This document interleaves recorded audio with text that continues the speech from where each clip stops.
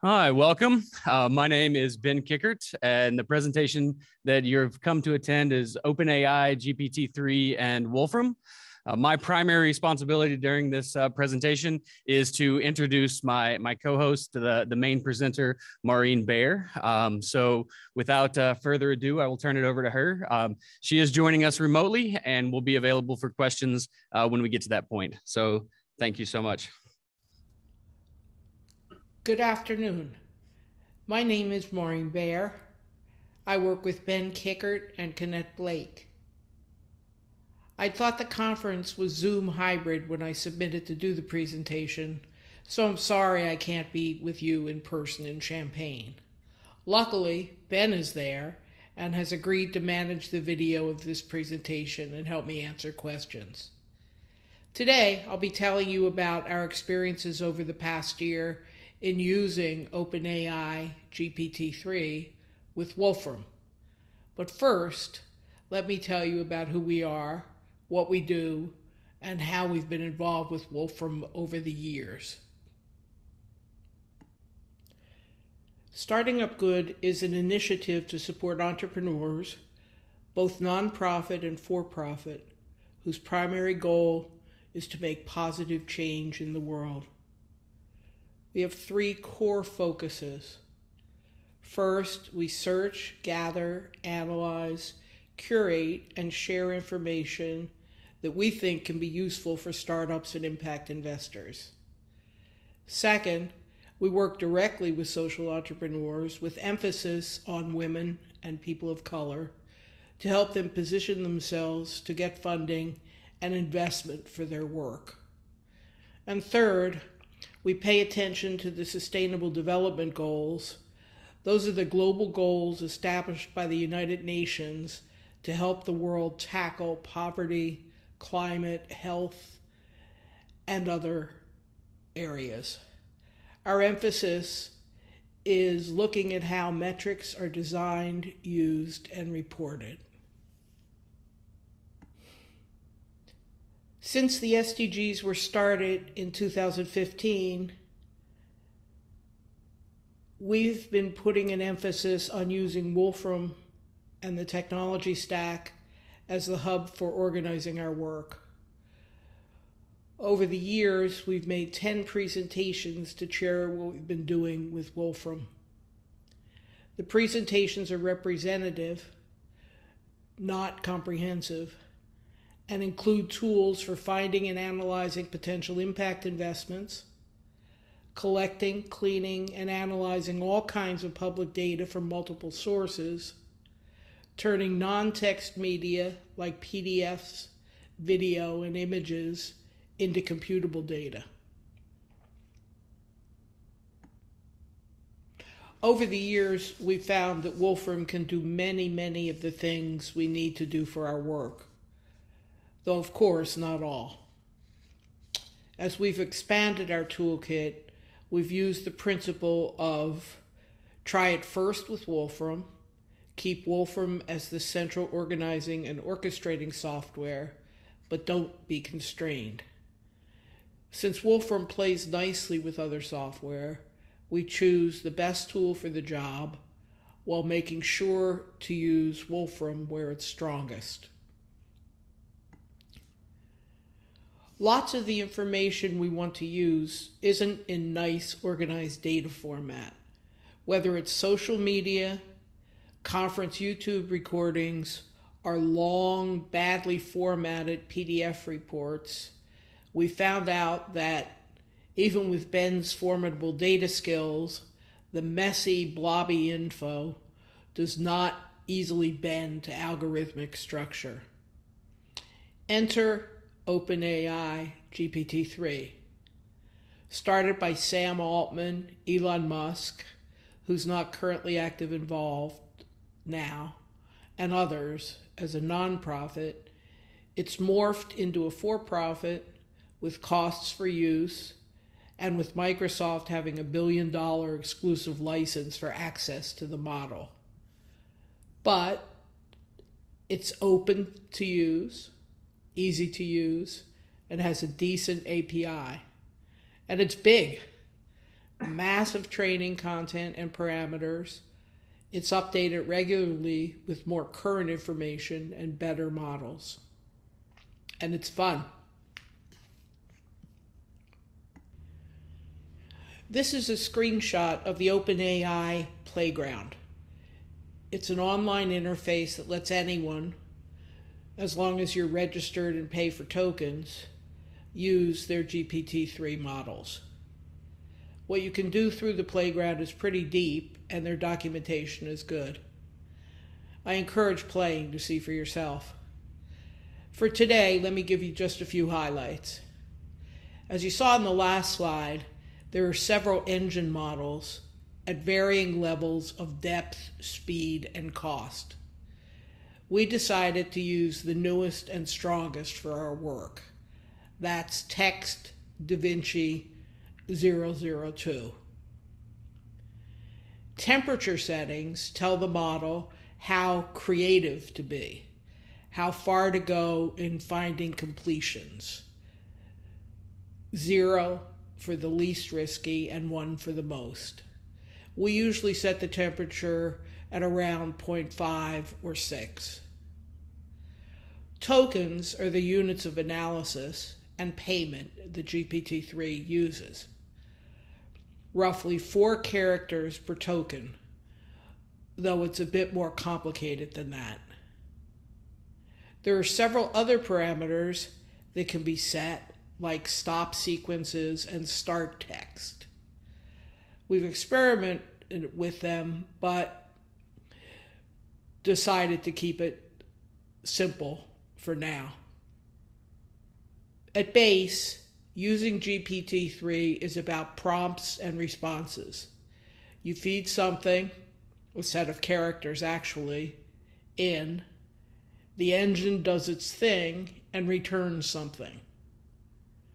There are ways to get more accuracy by giving structured examples of what you want back in response, but we decided not to do that for now.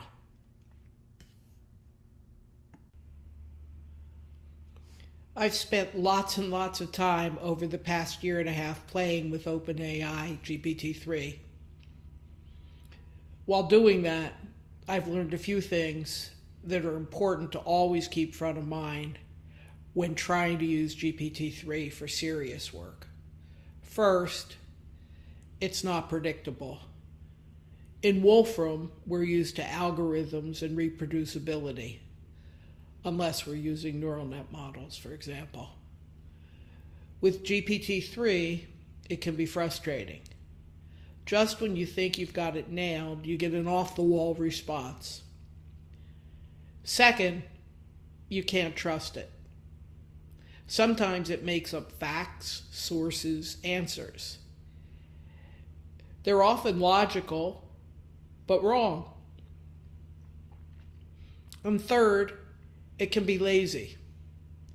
It gets into a rut and repeats answers rather than reaching more broadly and more deeply into its knowledge store. These three little hitches make it even more important that humans, real humans, be involved in looking at all stages of the process and checking GPT 3's work. For our projects, we use GPT 3 as a starting point and it saves us time. But heavy, old fashioned fact checking and editing need to happen before any output is ready to publish. That's what our third partner, Kenneth, does. Two years ago, Daniel Bigham wrote a long, very well documented post in the Wolfram Community Posts, and it provided the code for using the OpenAI GPT 3 API within Wolfram. I'm not going to be able to get into all the detail and explanation he did in his post. But what I'll say is that it's must reading for anyone wanting to use this.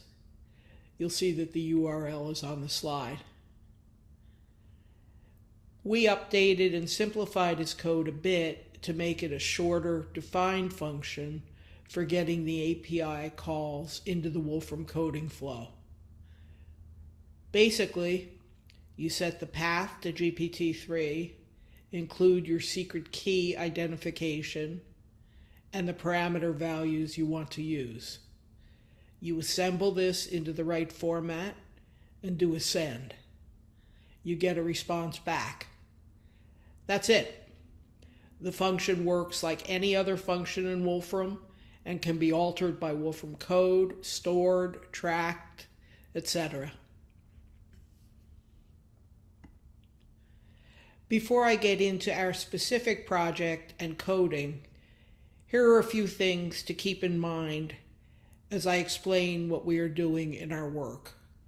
First of all, OpenAI GPT-3 has size constraints.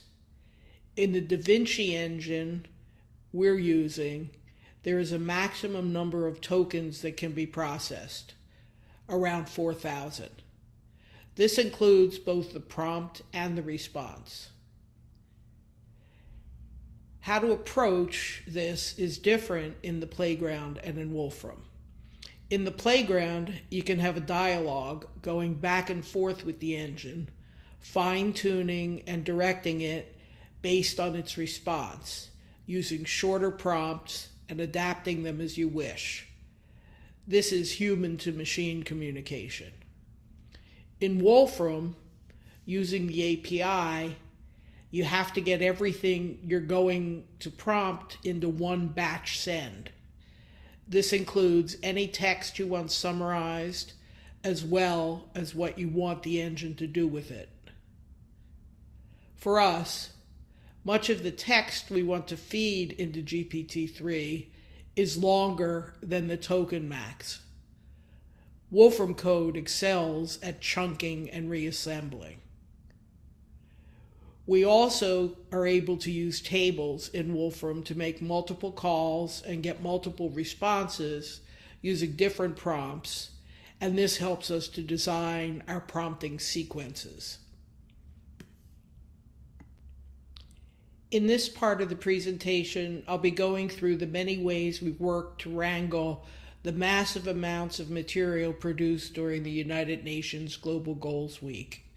A bit of background first. As you likely know, in September of every year, the United Nations General Assembly takes place in New York City.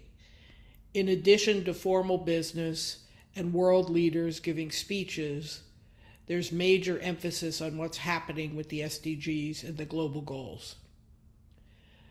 Last month was the first time it was in person again since COVID time. This was exciting for New York City, exciting for all the people who came together again. There were many, many UN sessions and many, many, many conferences and other ancillary activities. We've been covering the event for seven years using various combinations of looking at data and reading reports so that we could write Medium articles and do tweets.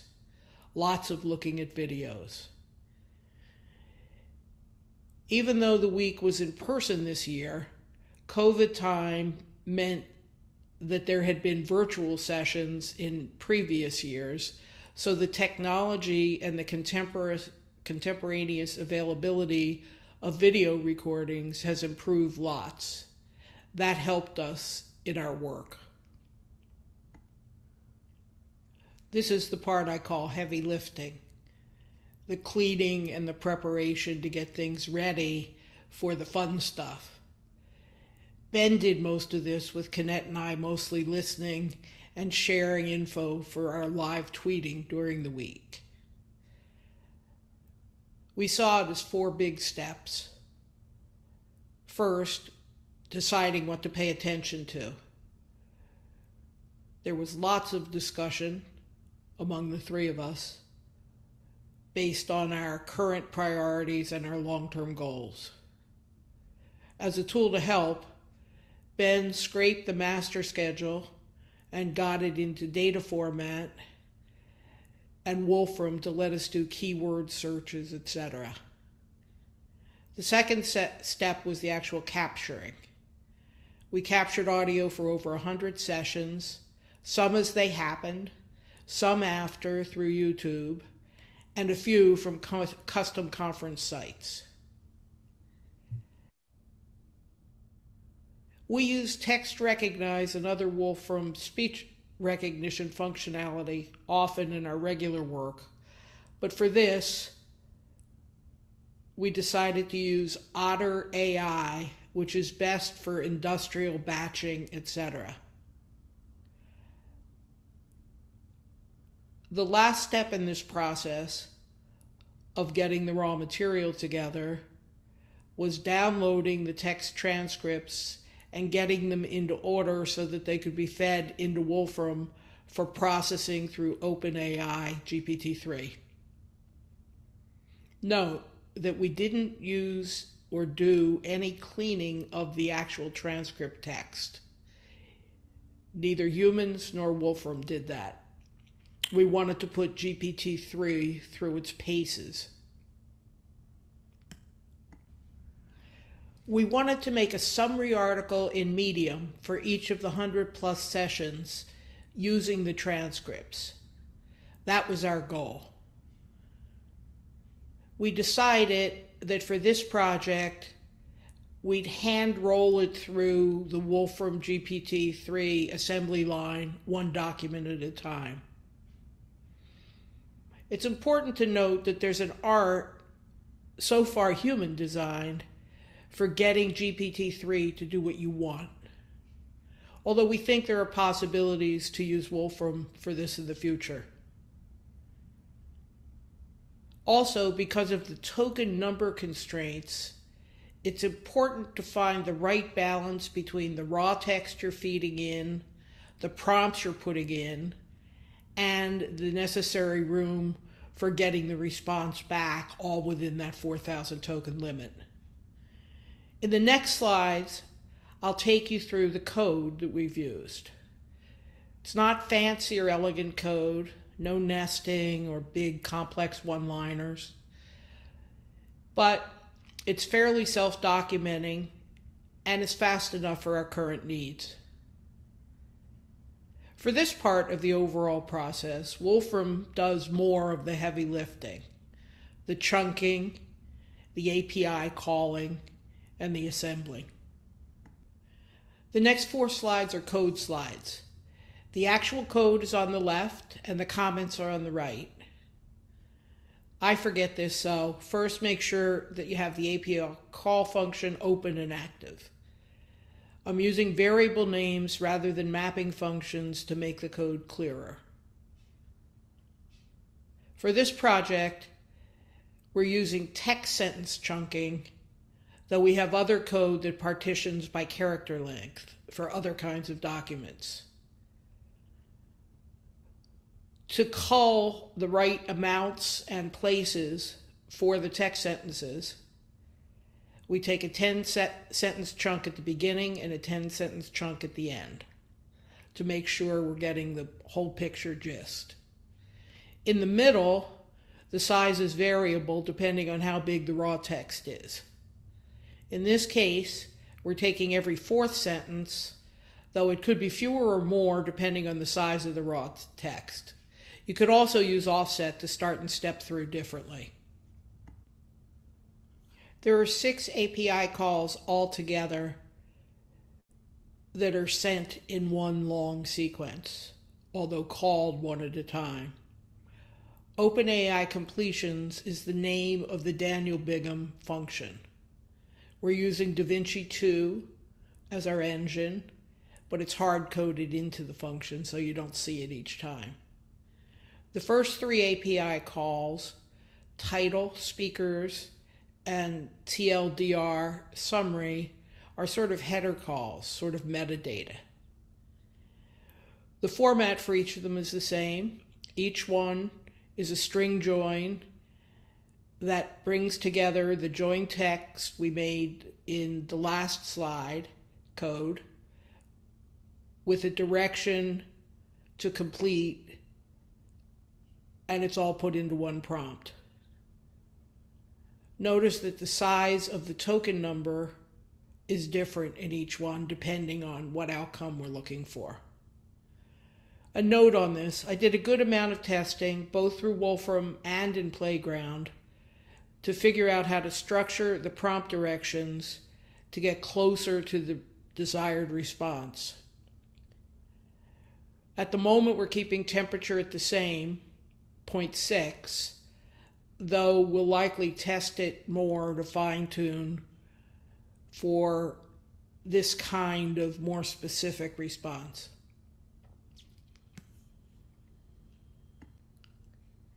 These second three API calls are more expansive, letting GPT-3 have more tokens to give longer responses. Again, temperature is kept the same. Highlights is a longer summary of what the transcript contains, with the highlights chosen by GPT-3. It tends to be pretty good, though you can get fairly different results on different runs using the same prompts. We wanted our summaries to be action oriented, so we leaned toward opportunities and potential actions. For us, this worked well. This is the code for assembling the results of the six API calls into one document with headings. It's fairly primitive, but lets us get a sense of what's there so we can run it again if it's way off base. Medium, where this response is going, has its own formatting idiosyncrasies, so it doesn't pay to do too much formatting in Wolfram. Just to note, the whole code on the last four slides is run at once, with the imported text being the only variable in run to run. Also, using a table wrapper lets us run through the whole code multiple times to see if we're getting good results for our needs. We save the text through a straight Wolfram export. We estimate that this is a real time saver for us, unless GPT-3 has gone rogue, which we usually catch earlier. We can edit and fix the document in 15 to 45 minutes within Medium. This is hours less than it would take us to do without using tech. The summaries aren't deep or journalistically excellent, but they work well for someone who wants to get to the core of what was said over an hour of video without watching or listening to the whole thing. Wolfram is definitely the orchestrator for this project, and we humans get to do more work at our human value added level. Though Wolfram and GPT 3 may one day be able to do everything we humans are doing here, we're not expendable yet, and I don't think we'll ever be. Ben Kenneth and I have a very long list of things we want to try next. It's likely to keep us busy for a long time. What we found is this Wolfram, OpenAI, outside tools, and human four way partnership has endless possibilities. We'll include links to some of the output of this project in hard copy of the presentation when it's posted. Thank you. I'm not sure if there's time for questions, but I can get on Skype or phone later with you and Ben if you have any.